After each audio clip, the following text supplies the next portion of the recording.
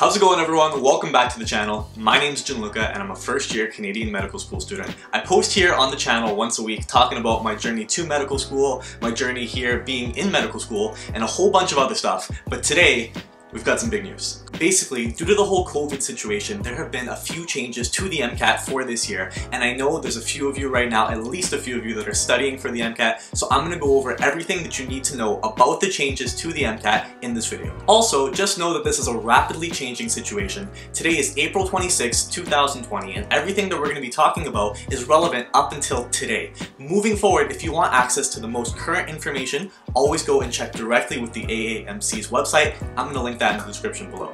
So first things first, for those of you that aren't aware yet, all of the MCAT exams up until May 29 have been cancelled for this year. The official current MCAT examination schedule is going to run from April 29 to September 28 as is scheduled right now. The MCAT exam is such an important part of the current medical school admissions process because it helps admissions committees to differentiate um, different applicants based on a numerical score. And for that reason, all of the applicants who were scheduled to write before the May 29th test date have been rescheduled to later on in the summer.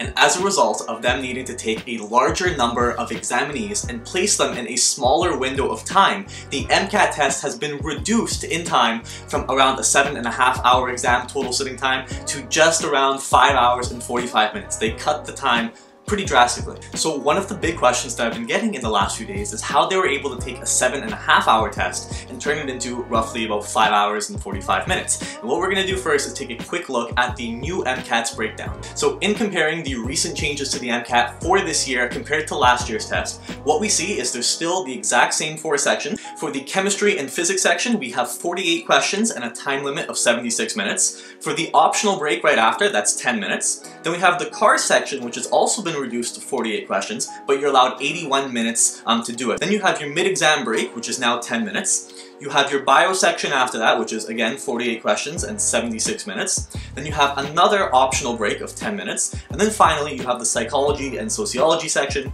um, which is 48 questions and 76 minutes. After that, you have your void option, which asks whether or not you actually want to have this particular MCAT test scored. It was reduced from 5 minutes to 2 minutes, which gives you a lot less time to decide. Now, in addition to these changes of the actual MCAT test format, there's also going to be some changes at the test centers Students are going to have access to hand sanitizer. They're also going to be allowed to bring in personal protective gear like uh, masks um, and gloves. Now, the major takeaways from the revised MCAT schedule is that the intro and tutorials in the very beginning of the MCAT have been effectively removed in this case.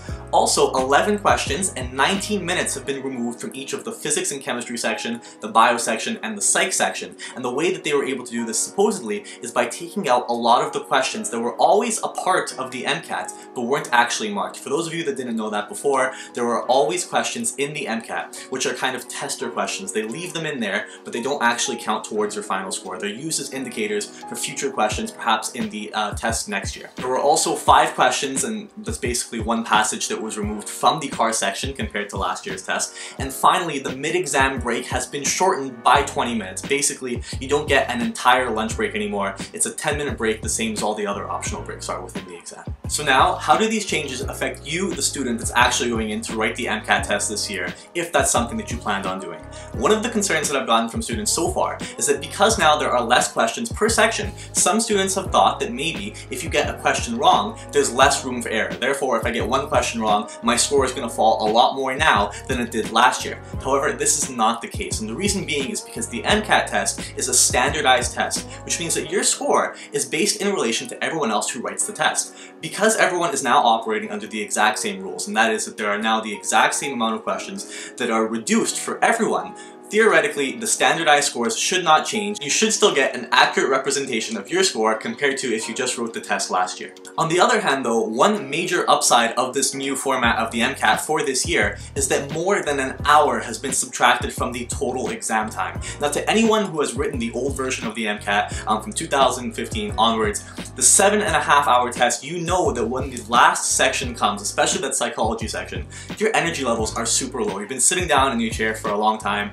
you we've been answering a lot of questions, and it gets harder and harder to focus as the test goes on. That was one of the most challenging parts of the MCAT for a lot of students. Now because the MCAT is shorter, for a lot of people this will actually be a very big advantage, and it could be a very interesting opportunity, especially for a lot of you students that struggle with exam fatigue. The last concern that I've gotten from a lot of students so far is that because this is a relatively new change to the MCAT, there aren't many practice tests or resources out there that are going to be able to exactly simulate this type of test scenario. Now, as far as I can see, that's actually true. And as far as that point goes, there aren't going to be a lot of practice resources out there right now that perfectly simulate this type of test experience. However, all of the questions are going to be based on the exact same material. The actual layout of the exam in terms of what is tested, um, in terms of knowledge on the exam hasn't changed at all. And for that reason, if you just go ahead and prepare for this test in the exact same way that you were doing before, I am sure that you guys are going to do just fine. If you guys need help um, in preparing for the exam, I have some videos up on the channel talking about the MCAT. I'm also going to be doing a few more in the really near future talking about physics, chem, psych, all these different things. Um, and leave me a question below if you want me to talk about anything specific.